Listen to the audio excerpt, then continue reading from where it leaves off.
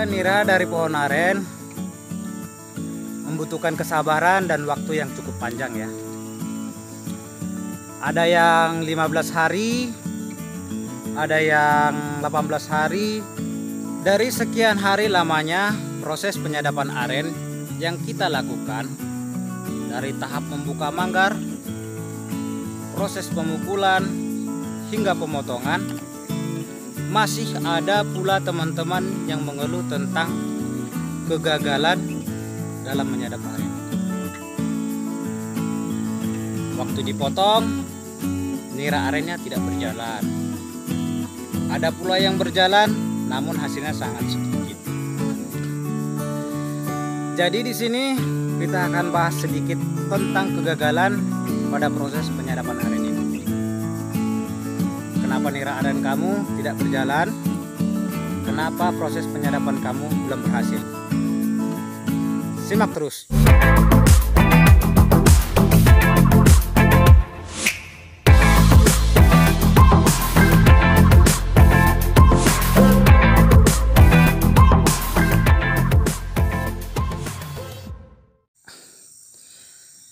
Oke, untuk teman-teman pemula, untuk tahu kapan kita mulai melakukan pemukulan manggar, teman-teman ambil dulu bagian mutiknya bunga manggar ini. Kemudian dibuka bagian dalamnya. Jikalau ini kan sudah kuning ya. Jikalau sudah kuning seperti ini teman-teman, sudah bisa kita lakukan pemukulan manggar. Tetapi jikalau masih merah, jikalau masih putih, jadi itu kalau bisa ditunggu dulu ya. Kalau masih merah kalau masih putih di dalamnya itu kalau bisa ditunggu dulu sampai dia nanti kuning. Baru kita lakukan proses pemukulan. Jadi untuk palu aren kalau boleh gunakanlah palu aren yang bahan tekstur kayunya itu keras ya. Keras seperti kayu kulim meranti uh, atau juga bisa kayu akasia. Jadi nggak perlu palu aren itu besar-besar ya teman-teman ya. Kecil aja cuman memang beratnya lumayan. Jadi teman-teman proses pemukulan manggar aren adalah salah satu tahap inti dari penyadapan aren. Jadi teman-teman salah-salah melakukan pemukulan manggar aren akan berakibat fatal bagi manggar aren kita bisa-bisa kita tidak mendapat air nira dari pohon aren ini. Oke, langsung saja kita simak ya teman-teman. Untuk para pemula aren, sebelum teman-teman membuka manggar, gantunglah terlebih dahulu. Jadi untuk para pemula ya, untuk para pemula. Jadi gantung entah pakai tali, entah pakai rantai terserah, yang penting digantung ya.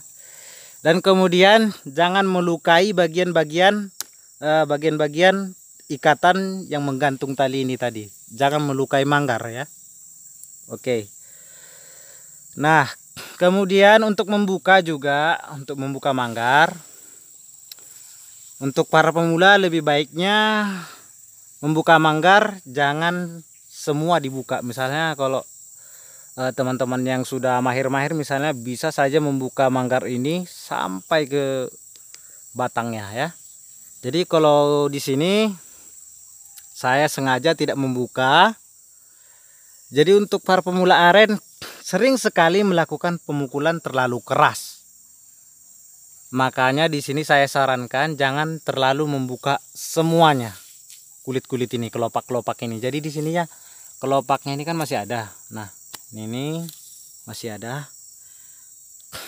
Di sini kan masih ada Nah, yang saya potong ini ya yang menghalangi saja ya. Jika teman-teman sudah terlanjur membuka bagian ini, bagian bawah ini semua sudah telanjang bulat, teman-teman melakukan pengayunan jangan terlalu kencang-kencang karena nantinya akan terjadi retak-retak di bagian sini. Kalau sudah dibuka ya, akan retak-retak di bagian sini kalau terlalu kencang.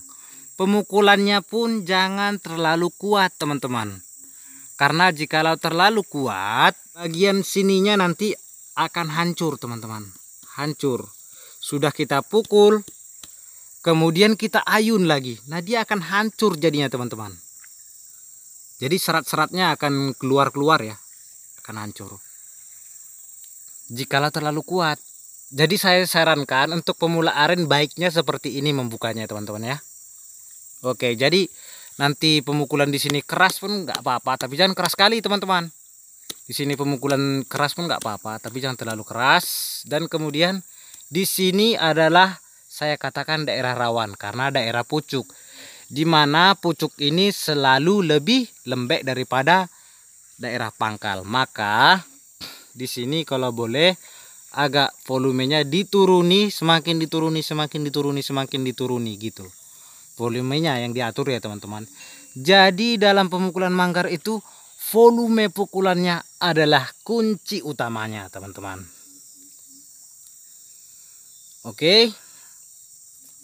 Misalnya ya misalnya. Eh, teman-teman uh, sudah memukul bagian batang ini.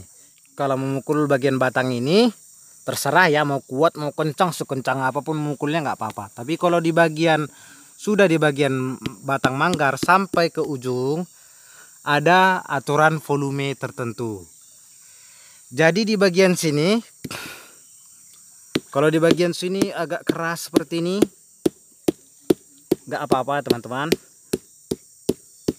jadi yang diperhatikan itu bunyinya teman-teman jadi di bunyinya itu kita akan tahu kekuatannya seperti apa. Jadi di situ yang diperhatikan ya teman-teman ya.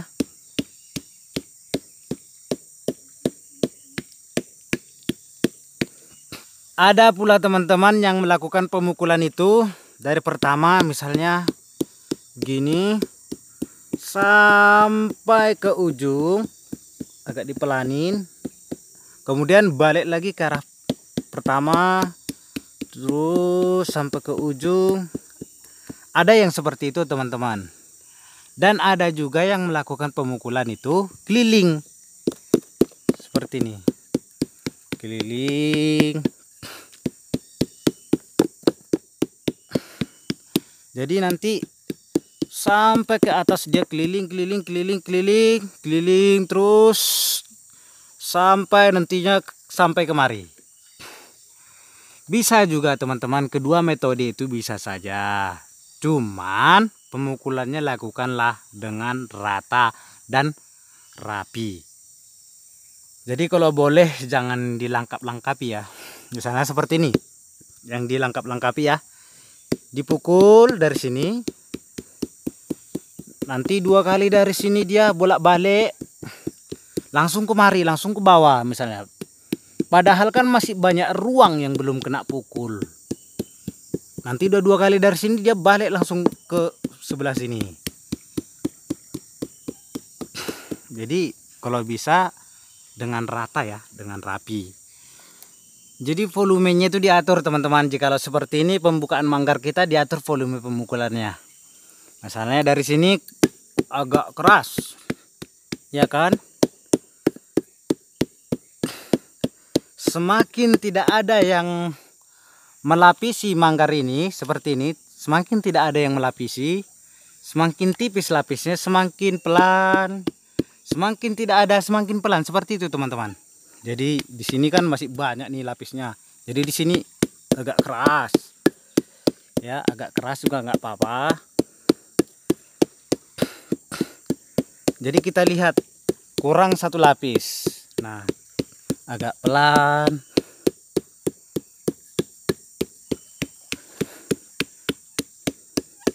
Jadi dia setiap kurang satu lapis setiap dah lewat satu lapis dia nanti kita pelan.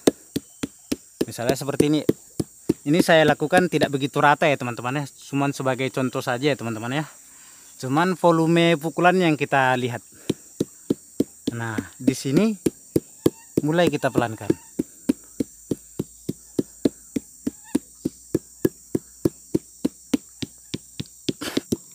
Jadi di sini agak pelan pelan. Dan udah jumpa yang nggak ada lapisnya seperti ini teman-teman. Kita harus lebih pelan lagi.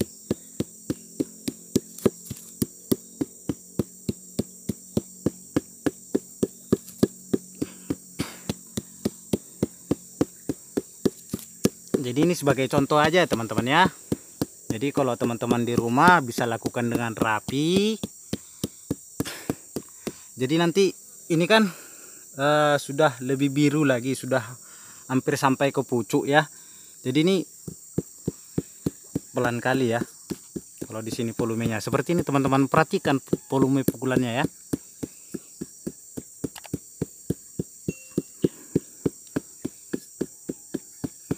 Jadi teman-teman nanti lakukan keliling. Jadi ini hanya sebelah saja saya lakukan ya.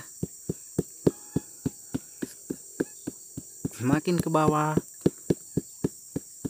semakin pelan. Nah seperti itu teman-teman. Jadi jika volume pukulan anda teratur seperti itu saya yakin nira aren anda akan berjalan dengan lancar. Jadi lakukan pemukulan. Jikalau pemukulan kita seperti itu tadi volumenya cukup satu kali pemukulan saja sampai misalnya dari batang sini kita keliling keliling keliling keliling keliling keliling terus. Sampai kemari sudah selesai misalnya keliling semua udah jangan diulang lagi. Langsung kita tutup selesai.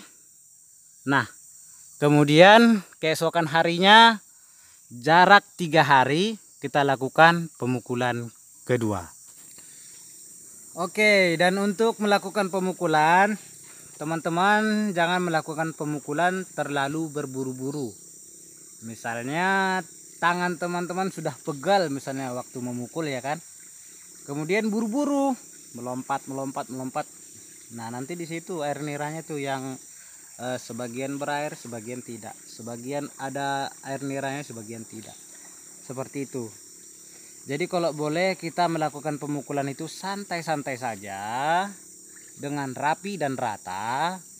Teman-teman lihat nira aren akan berjalan dengan lancar sekali. Dan mungkin jikalau air nira kita sudah berjalan dengan lancar, hati kita sudah riang gembira ya. Oke, nah kemudian untuk tahap mengayun. Jika teman-teman mengayun, ayunlah dengan slow. Ya teman-teman ya, ayunlah dengan slow. Satu, dua, tiga. Jadi jangan terburu-buru.